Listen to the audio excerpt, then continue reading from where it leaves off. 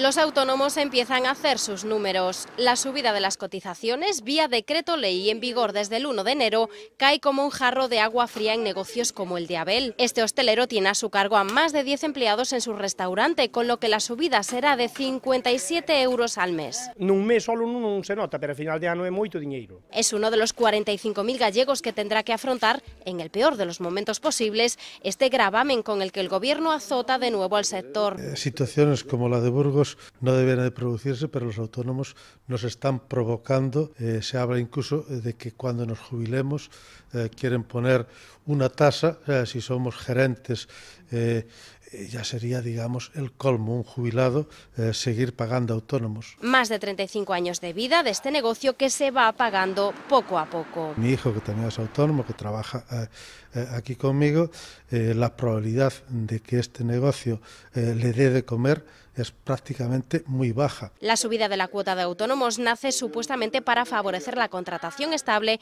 y mejorar la empleabilidad de los trabajadores. Si la empresa tiene liquidez y va trabajando, es lógico que se pague más. Me parece muy bien.